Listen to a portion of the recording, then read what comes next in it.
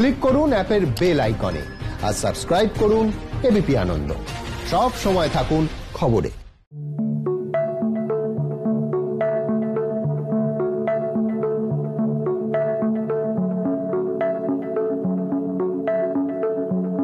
টিকি টাকা তো একদম আমরা ফার্স্ট ডে ফার্স্ট শোই দেখেছি। কলকাতা নাইট রাইডার তার কারণ শাহরুখ খান। এইটুকু বলতে পারি যে আমি সবসময় প্রেমে থাকি।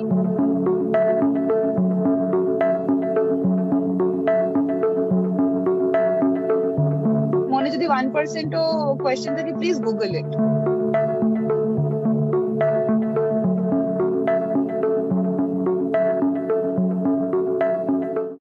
বাড়ির তৈরি সিনেমা হলে এখন কি টিকিট টাকা চলছে? টিকি টাকা তো একদম আমরা ফার্স্ট ডে ফার্স্ট শোই দেখেছি। আমরা তখন শান্তিনিকেতনে ছিলাম, আমাদের ওখানে একটা বাড়ি আছে, তো আমরা সপরিবারে গেছিলাম। তো সপরিবারে মিলে বসে আমরা টিকি টাকা প্রজেক্টরটা লাগিয়ে দেখেছি। ওখানেই আমি একটা করে সিনেমা হল আবার বানিয়ে ফেলেছিলাম মেকশিফট সিনেমা হল আর দেখতে দেখতে একটু তো হাত কামড়াচ্ছিলাম যে ম্যাচ ট্যাচগুলো বড় স্ক্রিনে এত সুন্দর লাগছিল, এত ফাটাফাটি লাগছিল যে, তখন একটু মনে হচ্ছিল যে ডিজিটালি কি সেই সেম ফিলটা লোকজন পাবে? কিন্তু আমরা একসাথে যখন দেখেছি, আমরা তো খুবই এনজয় করেছি, আমার বাড়ির লোকজন ভীষণ এনজয় করেছে I am very very very proud to be part of the film ব্যক্তিগতভাবে রীতাভরি চক্রবর্তীর কি পছন্দ ক্রিকেট না ফুটবল এই রে, এটা তো, এটা একটা ডেঞ্জারাস প্রশ্ন। এমনিতেই ধরো লোকজনের, লোকজন খুদ বার করবার জন্য এখন বসেই থাকে ইন্টারনেটে বেলা আমি আরেকটা সুযোগ আপনাদের দিয়ে দিলাম। আমি ক্রিকেট ফুটবল কোনোটারই ভক্ত নই। মানে খবর রাখতে যতটা জানতে হয় ততটুকুই জানি, কিন্তু ঘটনাচক্রে আমার বন্ধু, বান্ধব কলিগ সবাই এত স্পোর্টস প্রেমী, নানান রকম খেলার ফ্যান মানে পরম নিজে এত ফুটবল ভালোবাসে ক্রিকেটটাও ভালোবাসে, আমার বন্ধু বান্ধব তারা একদম ভক্ত যাকে বলে। তো মোস্ট অফ দ্য টাইম যখন এই আলাপ আলোচনা গুলো হয়, সেখানে আমি আস্তে আস্তে জোন আউট হয়ে যাই। পুরো আমার মাথাটা আস্তে আস্তে ফেজ আউট হতে থাকে।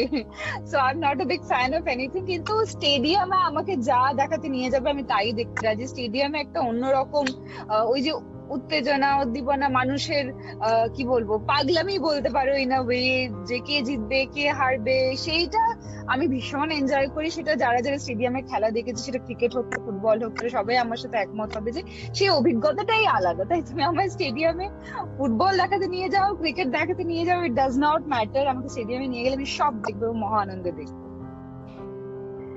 এর আগে বাড়িতে অভিনেতা পরমব্রত চট্টোপাধ্যায়ের সঙ্গে কাজ করেছ। এখানে শুধু অভিনেতা নয়, পরিচালক পরমব্রত চট্টোপাধ্যায়ের সঙ্গে কাজ করা, সেই অভিজ্ঞতাটা কেমন ছিল? পরম অ্যাজ এ ডিরেক্টর ও খুব সর্টেড ও জানে ওর ভিশন কি, ও কি চায়, ও কীভাবে একটা জিনিস পিকচারাইজ করছে এবং আনডাউটেডলি আই থিঙ্ক সব থেকে সুদর্শন চিত্র পরিচালক।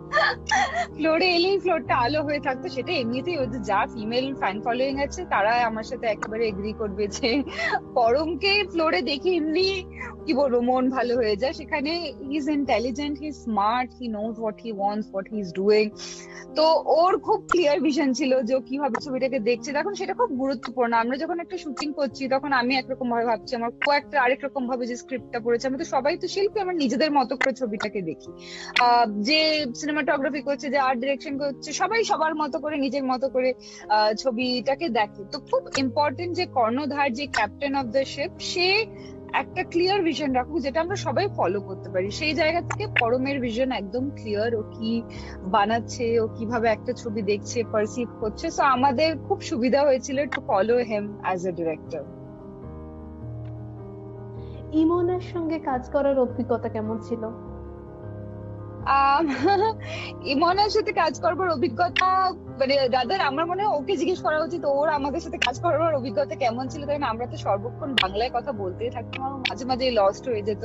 এন্ড তখন we would feel bad and আমরা ট্রান্সলেট করতে শুরু করতাম। আসলে না, আমরা এই বলছিলাম, ওই বলছিলাম। তখন ল্যাঙ্গুয়েজটা was like a big barrier for him ও সত্যি বুঝতে পারতো না আমরা কি আলোচনা করছি। পরের সময় এরকম সিমিলার এক্সপিরিয়েন্স হয়েছিল, যেহেতু আমাদের ডিরেক্টর ছিল বাঙালি ডিওপি বাঙালি, আমি বাঙালি, পরম বাঙালি। আমরা মাঝে মাঝে সবাই মিলে কথা বলতে শুরু করে দিতাম তখন Anushka would be like what is what is this মানে অবভিয়াসলি ইটস আনফেয়ার যেখানে কেউ কোনো ভাষা জানে না। আমি সেরকম পরিস্থিতি নিজে পড়েছি, যখন পেন্টিং পেন্টিং লাইভ শুটিং করছিলাম, পুরো টিমটাই ছিল মালায়ালাম ফিল্ম ইন্ডাস্ট্রি থেকে, মালায়ালি ছবির ফিল্ম লাইক ইউনো পুরো ক্রু তো তারা নিজেদের মধ্যে, নিজেদের ভাষায় কথা বলছিল অবভিয়াসলি সবই আমার মাথার উপর দিয়ে যাচ্ছিল। তো তখন naturally I started like you know হয় না, আমি দাঁড়িয়ে দাঁড়িয়ে ওইরকম আস্তে ফেজ আউট করে যেতাম। কারণ যা কথা হচ্ছে কিছুই বুঝতে পারতাম না আশেপাশে। তখন আশেপাশে লোকজনকে অবজার্ভ করতে শুরু করলাম আচ্ছা এনার হাইট হয়তো পাঁচ ফুট দশ ইঞ্চি, এনার হয়তো পাঁচ ফুট সাত ইঞ্চি। ওনার মাথায় অনেক চুল আছে, এনার মাথায় চুল কম, ইনি টাকের দিকে, ঠিক আছে? এই সমস্ত করে আমি না মানে কি বলব I use to try to make a you know conversation with myself in my head because বাকি যা কথা হচ্ছে কিছু বুঝতে পারতাম না। আমার ধারণা, ইমোনা দাঁড়িয়ে দাঁড়িয়ে আমাদের মাথার চুল গুনেছে আমাদের হাইট নেমেছে। So you should actually ask ইমোনা, ওর অভিজ্ঞতা কেমন আমাদের সাথে? বিকজ আমরা মাঝে মাঝে প্রচণ্ড কথাবার্তার মধ্যে ঢুকে গিয়ে সবাই মিলে বাংলায় কথা বলতে শুরু করতে মানে নিমোনা would be completely phased out Rita Chakraborty সাংবাদিক বনি হয়ে কি কি নতুন জিনিস শিখলো? সাংবাদিকের চরিত্রে আমি আগেও কাজ করেছি। আমি কালকির সাথে যে ছোট ছবিটা করেছিলাম নেকেড বলে তাতে আহ, তো আমি জার্নালিস্ট ছিলাম। আর একজন সর্ট অফ নভেলস জার্নালিস্টই বলতে পারো। এটাতেও প্রচণ্ড ডিফারেন্ট না? হ্যাঁ অবভিয়াসলি পরিতে যে নেকেডে যে ক্যারেক্টারটা ছিল, সে খুব পলিশড একটা মেয়ে, শহরের একটা মেয়ে। বনি সেটা নয় বনি মফস্বল থেকে এসেছে এবং তার রীতিমতো মাথার উপরে খাড়া ঝুলছে। যদি সেই চাকরিটা সে এখনও ইন্টার্নশিপে পার্মানেন্টলি না পায়, তাহলে বাবা হোমিওপ্যাথি ডাক্তারের সাথে বিয়ে দিয়ে দেবে আর জীবনে কিছু করা হবে না। তো ওই জন্য she has a lot at stake and যেহেতু শহরের মেয়েদের মতো অত ঝাঁ চকচকে পলিশড নয় in the way she speaks presence herself কিন্তু সেই চাহিদাটা জিল সেই প্যাশনটা রয়েছে যে, না, কিছু একটা আমার করতে হবে, আমি কিছুতেই ফিরে যেতে পারি পারি না। সেইখান থেকে কি বলব? আমি খানিকটা কি খুবই সরল। ওই সরলতার জায়গা থেকেই ও খেলেছে কি সত্যি সত্যি ফুটবলার ভেবে নেয় যে মানে যেহেতু পরম একটা যা ওকে আজগুবি গল্প খাওয়ায়, ও বিশ্বাস করে সেটাকে খবরও করে দেয়। ও সেটাকে এতটাই বিশ্বাস করে না। That is because of as Param kept on saying her simplicity I kept on saying her idiocy ঠিক আছে? যে আমার মনে হয় এটা বোকামি। বোকামের এমন একটা সময় ছবিটা দেখা যখন গুগল টুগল এইসব কিছু ছিল না। তো এই জন্য বলেছে, বিশ্বাস করেছে, খবর করে দিয়েছে, যেখান থেকে পুরো ঝামেলাটা শুরু হয়। তো আমি বনির থেকে একটা জিনিস ডেফিনেটলি শিখেছি যে যখন কেউ কোনো তথ্য বোঝানোর চেষ্টা করছে মনে যদি ওয়ান পার্সেন্টও কোয়েশ্চেন থাকে প্লিজ গুগল ইট যে যা বলছে বিশ্বাস করবার দরকার নেই। আম, মফস্বল থেকে হোক শহর থেকে হোক যেখান থেকে তুমি আসো না কেন তোমার নিজের পার্সোনালিটি নিজের ব্যক্তিত্ব তুমি নিজে মানুষটা কীরকম সেটাই যথেষ্ট তোমাকে নিজে একটা জায়গা তৈরি করতে হেল্প করবার জন্য। তুমি যদি নিজের সাথে নিজের টাচে থাকো that is all that you need এটা আমি বনির থেকে শিখেছি। ও কখনোই শহরে, শহরের ছেলে বা মেয়েদের মতো হওয়ার চেষ্টা করে না। ও নিজের মতো থাকে, নিজের মতো একদম কি বলব, নিজের মতো নিজের কাজটা গুছিয়ে করে যায়, গোটা গোটা ভাবে ইংরেজি বলে, সেটা ওর ব্যাপার।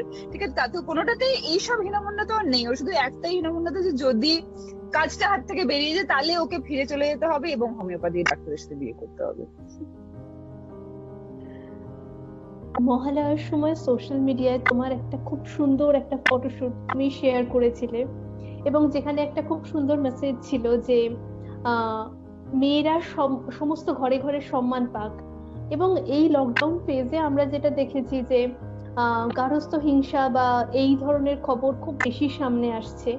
এই ছবিটা তোমাকে কতটা ধাক্কা দেয়? খুবই ধাক্কা দেয়। তার কারণ যেটা আমি ওই ভিডিওটাতে যে মেসেজটা আমি কনভে করার চেষ্টা করেছি যে আমরা আমাদের কতগুলো দেবী রয়েছে, দেবীরও কত রূপ রয়েছে যে প্রত্যেকটা রূপকে আমরা পুজো করি। মা দুর্গা যেমনি দুর্গারই এতগুলো রূপ রয়েছে, মা কালীও তার একটি রূপ। এবং মা কালী উলঙ্গিনী, আমার যদি শব্দকে ভুল বলে থেকে আমার ক্ষমা করে দিও। মা দেব, মা কালী উলঙ্গিনী দেবী সেখানে দশভূজা, তার একেবারে কি বলব, আভরণ অলংকারে তার একেবারে সারা শরীর, ভর্তি, গয়না, গাটি, শাড়ি, পোশাক সব রয়েছে। মাকে আমরা সমস্ত রূপে সমস্ত ভাবেই পুজো করি। তার আরাধনা করি, কিন্তু যখন সেটা চলে আসে আমাদের নিজের জীবনে কোনো মা, দিদি, বোন, কারুর বোন, কারুর মেয়ে, বান্ধবী এই জায়গাতে, তখন সামহাও আমরা নারী শক্তি বা দেবী রূপ এইগুলো দেখতে পাই না। হয়তো আমাদের কোথাও না কোথাও ডিপ রুটেড একটা ধারণা রয়েছে যে যেহেতু ওই মায়ের হাত দিয়ে রশ্মি বেরোয় বা কোনো পাওয়ার আছে বলেই তাকে সে পূজনীয়, তাকে পুজো করা যাবে। হয়তো আমাদের সাধারণ মেয়েদের মর্তে আমরা যারা রয়েছি, আমাদের হাত থেকে রশ্মি বা মাথার পেছন থেকে আলোর আভা নেই বলে হয়তো আমাদের অতটা সম্মান দেওয়ার কোনো জায়গা তারা দেখতে পায় না। কিন্তু একটু যদি বুদ্ধি করে তলিয়ে মানুষ ভাবে, তাহলে তারা দেখ, তারা এইটুকু বুঝতে পারবে যে, এই যে মাইথোলজিক্যাল ক্যারেক্টারগুলো, দেবী, যাই বলো না কেন, ঠিক আছে, মেনে নিলাম এইটুকুও যদি আমি মেনে নিই যে, সত্যি দেবী ছিলেন যিনি, আমাদের সবাইকে প্রোটেক্ট করেছেন, যিনি অসুরের হাত থেকে বিনাশ হওয়া থেকে আমাদের সকলকে বাঁচিয়েছেন, তার মানে কি? সেটা তো শুধু তার হাতে বা পায়ে বা কোনো পার্টিকুলার জায়গায় কোনো ক্ষমতা, শক্তি, অস্ত্র ছিল শুধু সেই জন্য নয়। এতগুলো দেবতা থাকা সত্ত্বেও দেবী সেই লড়াইটা করে, সেই লড়াই জিতে আমাদের বাঁচিয়েছেন সেটা আমরা যুগ যুগ ধরে পুজো করে আসছি। সেটার কারণ কোথাও না কোথাও এই, তার মানে একজন একজন নারী, একজন মহিলা, তার মধ্যে সেই ক্ষমতাটা আছে এবং সেই ক্ষমতাটা সে তখনই প্রকাশ পাবে যখন তার আশেপাশে বাকি যারা রয়েছে তারা সেটাকে দেখতে পাবে, সেটাকে সাপোর্ট করবে। অতগুলো দেবতা মিলে তারা, যারা মহিষাসুর মদিনী বছর বছর দেখে তো রিলেট করতে পারবে। যারা অতগুলো অস্ত্র দেবীকে দিয়েছিল, তার দশটা হাতে অস্ত্র ভরে যায় এবং সে যুদ্ধে নামে। এতগুলো পুরুষের, এতগুলো দেব দেবীর বিশ্বাস ছিল যে মা দুর্গাই সেটা পারবেন। তাই জন্যে পুরুষ হোক, নারী হোক, তারা যদি সকলে মিলে নারীর নারী শক্তিতে বিশ্বাস না করে, তাহলে নারী একা কি করে কিছু করে উঠতে পারবে? কিন্তু আমার দৃঢ় ধারণা, দৃঢ় বিশ্বাস যে আমরা যদি মেয়েদেরকে সেই জায়গাটা দিই, সেই রেসপেক্টটা সেই সাপোর্টটা সেই সম্মানটা সারা বছর দিই, শুধু পুজোর আসনে যে মূর্তি বসে রয়েছে, সেই পাথরের মূর্তিকে না আমরা মানুষকে, আমাদের আশেপাশে সকল নারীকে সেই সেম রেসপেক্টটা দিই, তাহলে নারীর মধ্যে সেই ক্ষমতা রয়েছে, প্রত্যেকটি নারীর মধ্যে সেই দেবী ক্ষমতা রয়েছে, যেখানে সে লড়াই করে, নিজের মতো করে সমাজটাকে একটা অনেক অনেক অনেক বেশি সুন্দর জায়গায় নিয়ে যেতে পারবে। মহালয়া তো হয়ে গেল পুজো আসছে। পুজোয় তোমার স্কুলের স্কুল তো এখন নিশ্চয়ই বন্ধ আইডিয়াল স্কুল ফর। ডেকাডাম স্কুল এখন বন্ধ তো স্কুলের বাচ্চাদের সঙ্গে কি পরিকল্পনা রয়েছে পুজোর জন্য? এই দশ বছরে আই থিঙ্ক এই প্রথমবার আমার বাচ্চাদের সাথে এত দিন দেখা হয়নি যবে থেকে লকডাউন হয়েছে মার্চ মাস থেকে এখনও পর্যন্ত আমার আমার বাচ্চাদের সাথে দেখা হয়নি। কয়েকটা ভিডিও কল আর ভিডিও কি বলব কিছু ছবি টবি ফোনে ছাড়া আমার কোনো টাচই নেই বলতে পারো। এবং কি বলব, এটা আমার জন্য খুবই মর্মান্তিক, খুবই মন খারাপ হয়, ওদের জন্য খুবই কষ্ট হয়, যেহেতু ওরা শুনতে বলতে পারে না। And it is a deaf and school it's call ideal school for the deaf তাই জন্য অবভিয়াসলি ফোনে কথা বলার তো কোনো রাস্তা নেই। আর প্রতি বছর পুজোর জামা আমি ওদেরকে দিই। এখন স্কুল বন্ধ যারা জানে না তাদেরকে বলি যে মিউট হওয়া এমন একটা সমস্যা মানে ডেফ হওয়া ডেফ থেকে ডাম এমন একটা সমস্যা যেটা ইউজুয়ালি মোস্ট কেসেস এ আন্ডার প্রিভিলেজ ফ্যামিলিতে হয়। তখন মা যখন গর্ভবতী থাকেন, তখন সে যদি ঠিক মতো পুষ্টিকর খাবার না পায়, তাহলে ম্যাল নিউট্রিশনের জায়গা থেকে এই অসুবিধাটা দেখা যায় দেখা যায় মায়েদের মধ্যে। এবং সেই অসুবিধাটার প্রোডাক্ট বা ফল বলতে পারো যে বাচ্চাটা শুনতে বলতে পারে না জন্মের পর। তো এটা বুঝতে তোমাদের অসুবিধা হবে না যে আমার যে চুয়াত্তরটা বাচ্চা রয়েছে, তারা সবাই খুব একটা ওয়েল অফ ফ্যামিলি থেকে আসে না, একটু আন্ডার প্রিভিলেজ ফ্যামিলি থেকে আসে। তো এই মুহূর্তে কারণ সবার নিজের ট্রান্সপোর্টেশন নেই যে স্কুলে আসতে পারবে, তাই জন্য আমরা নিজে মিউচুয়ালি ডিসাইড করেছি যে যতক্ষণ না পরিস্থিতি ঠিক হচ্ছে ততক্ষণ আমরা স্কুল খুলবো না।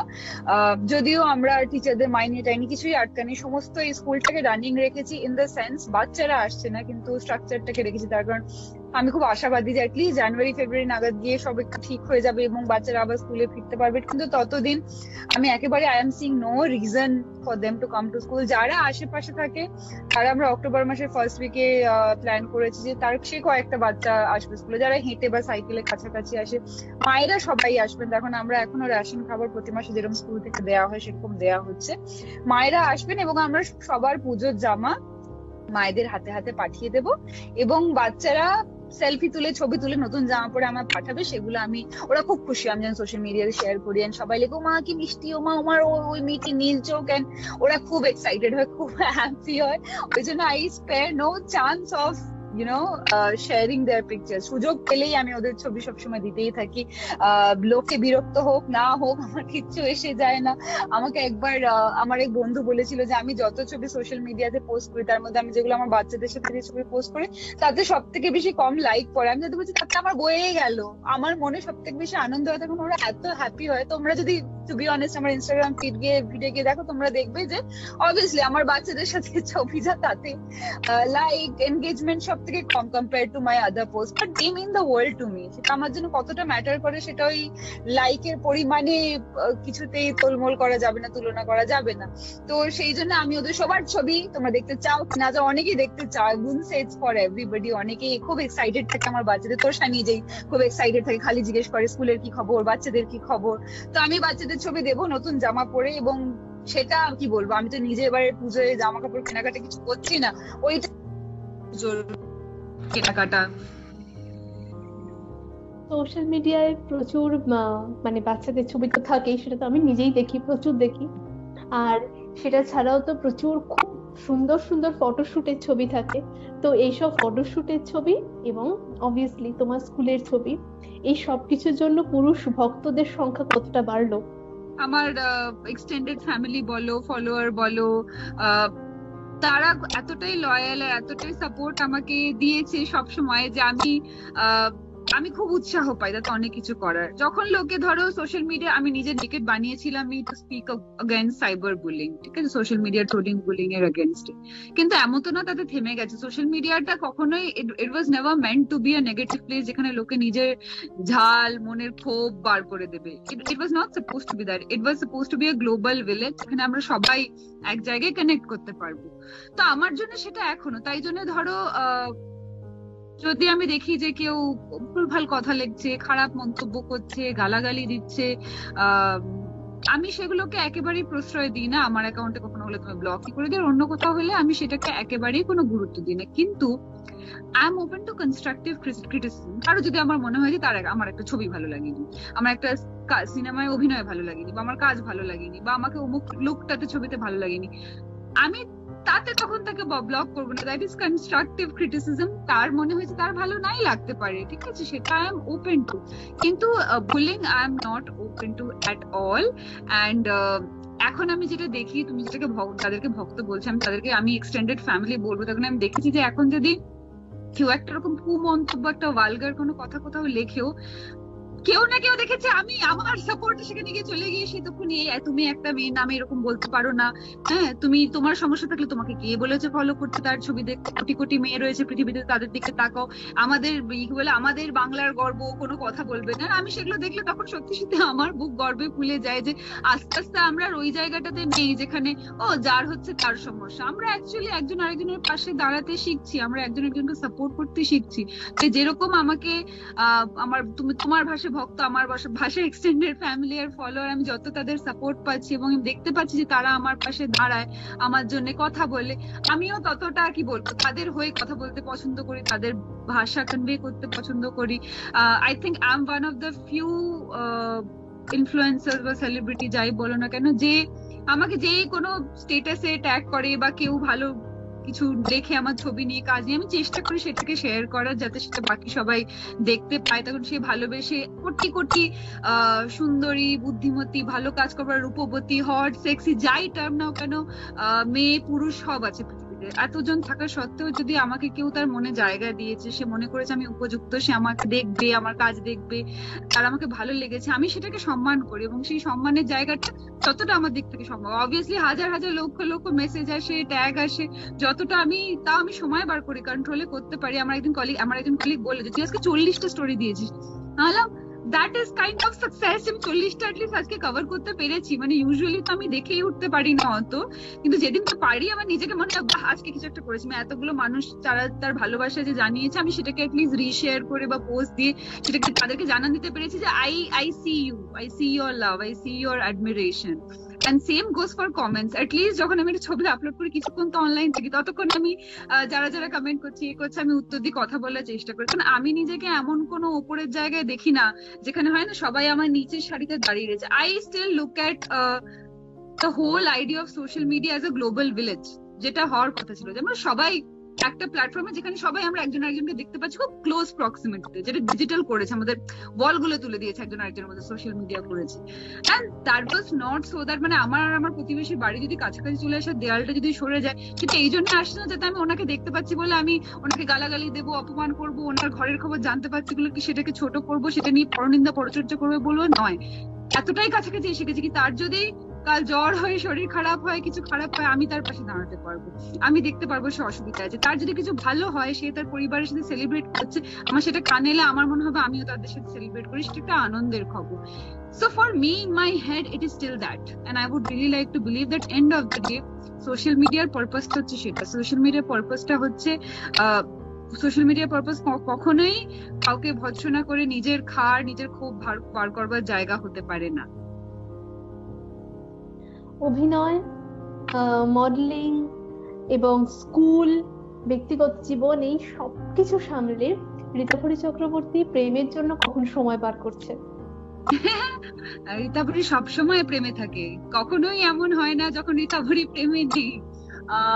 অবশ্যই কি বলব যে আমি জানি যে এরকম একটা প্রশ্ন করা মানেই হচ্ছে সবাই জানতে চাইবে যে কোনো কি বয়ফ্রেন্ড আছে, কোনো কি মনের মানুষ আছে। আমি তোমাদের সবাইকে এটাই বলতে চাই, থাকলেও আমি বলব না। সিরিয়াসলি আমি এই ব্যাপারটা একেবারেই প্রশ্রয় দিতে চাই না বলি, আমি এই নিয়ে কোনো কথা বলতে চাই। তাই জন্য মিস্ট্রি থাক। আমি, আমার বয়ফ্রেন্ড আছে এই নিয়ে এইটুকু বলতে পারি যে আমি সব সময় প্রেমে থাকি এবং I'm a I'm a hopeless romantic and uh, for now all I can say is যে আমি তোমাদের সবাইকে খুব খুব ভালোবাসি and তোমরা যারা যারা আমাকে ভালোবাসো trust me I see it.